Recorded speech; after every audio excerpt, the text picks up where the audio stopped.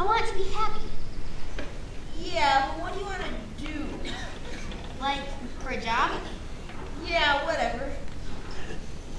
Well, I'm not sure what my dream job would be, but I think it'd be great to have a book of poetry. I mean, an actual book of published poems that I wrote. That's actually been a dream of mine for a long time. Andy, that's great.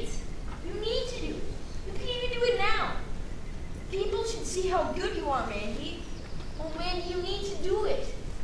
Well, it's not that easy, Why not? because I'll never send a poem to a publisher, What? Why not? because Mandy, you want people to read your poems, right? I mean, you write them, then give them away. Or put them in the crooks of trees and under rocks.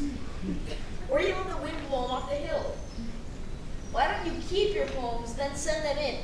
Or get someone to help you to send them in. Because, Charlie, poems are a mystery. Pieces of a puzzle. Have you ever been beaten up? What?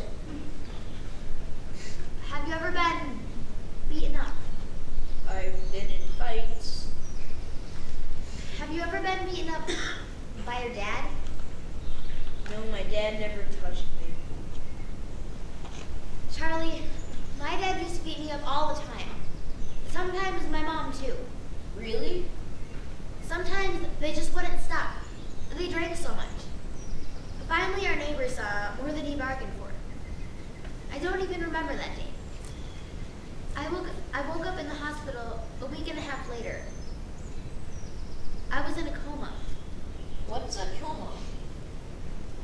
It's like sleeping, but not on purpose.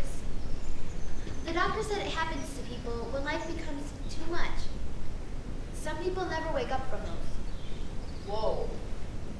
My parents were both arrested that day, and I haven't talked to them since. I had to go through all the government programs and talk to a bunch of doctors. And now, I'm a foster child. People don't like to adopt 12 year olds. Mandy, I'm sorry. Nope, I don't want you to feel sorry for me. I don't want anyone to feel sorry for me. You're my friend, Charlie, because you listen to me. I know I talk a lot, but you listen all the same. Thanks. I like to listen. That's why I write poetry, and that's why I lay my poems out. Because then I can imagine people finding them.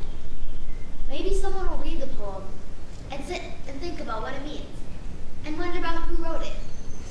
And I can wonder back to them. And because of my poems, can pretend that there are more people who care about me.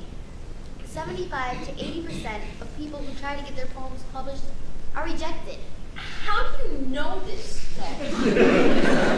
I don't want to be rejected anymore, Charlie. So I just can't take the chance. Because if I lose, it might destroy the hope I have in the people my imagination allows to care for me.